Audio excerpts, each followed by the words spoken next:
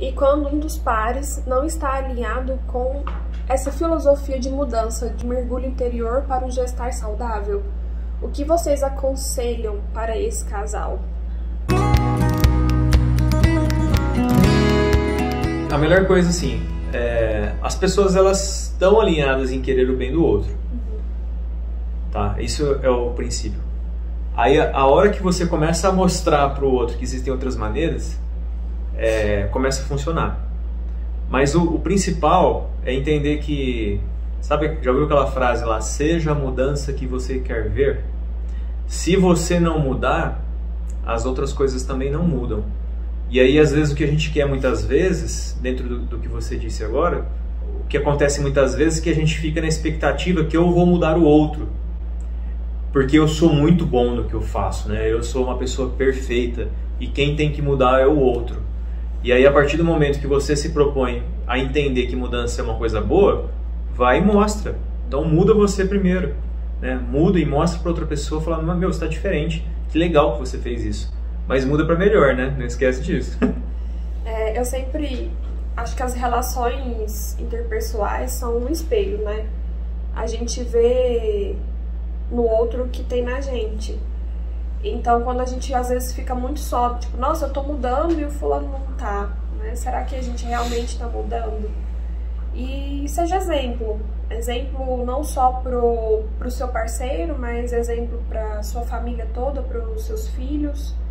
E se a gente mostrar essa mudança interna e as pessoas começam a ver, tudo em volta muda e tudo flui melhor.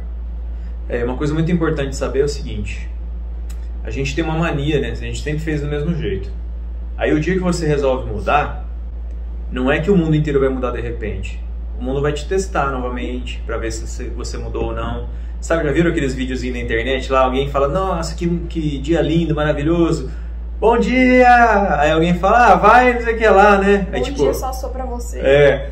Aí, tipo, então acabou o bom dia da pessoa, né? Então eu mudei, tá vendo? O mundo não muda, então e aí vai dos exemplos. Então é insistir, entender que às vezes você vai ser desconfiado, as pessoas não botam fé mais em você. E as pessoas acreditam que você é da mesma maneira que você era anteriormente, e as pessoas vão desconfiar. Meu, e a responsabilidade é tua, não é do outro. O outro não é obrigado a perceber que você mudou. Porque se você tem, não importa se você tem 15 anos, né? Foram 15 anos fazendo de um jeito. Se você tem 30 anos, são 30 anos fazendo de um jeito. Ou 40, ou se for mais, beleza. Então, não, não adianta querer achar que as pessoas vão falar, nossa, né, você acordou diferente e desde esse dia você é uma pessoa espetacular. É, não é assim que funciona. E é porque as pessoas, a mudança às vezes demora um pouco mais para acontecer e, e a gente perceber essa mudança, de fato, se ela não é um engodo ou se ela é uma mudança de fato, né? Então a gente tem que começar a perceber e testar.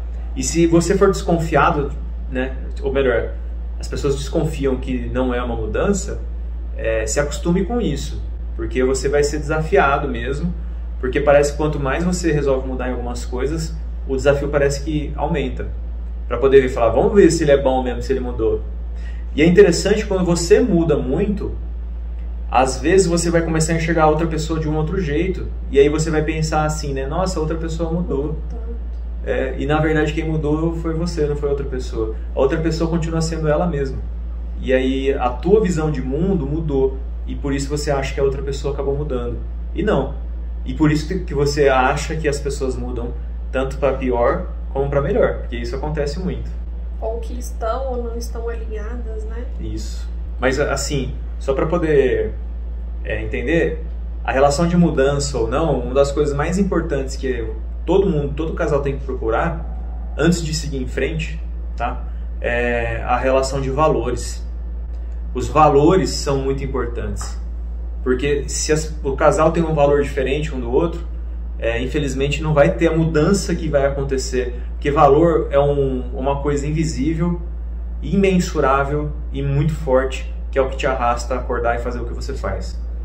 E se o teu valor é diferente do teu parceiro, tá? Isso pode trazer uma treta universal que vocês vão viver brigando para impor valores sobre o outro. É, e aí também tem o significado do valor, né? Então, valor é honestidade, família, né? É, entre segurança, entre outras coisas, e o que significa cada coisa dessa para cada um. Então, quando a gente entende os valores de cada um, meu, não é que as coisas vão ser sempre tranquilas. Mas você vai perceber que vocês vão brigar ou discutir por valores muito parecidos. Às vezes pelo método de executar aquilo. Né? E aí, a hora que você for sentar, fala: Meu, os dois querem ir para o mesmo lugar. É só escolher qual que é o melhor. Ou então escolher um terceiro caminho, que não é nenhum dos dois. Vamos fazer um outro, então. Né? Então, isso que é, é bem interessante também.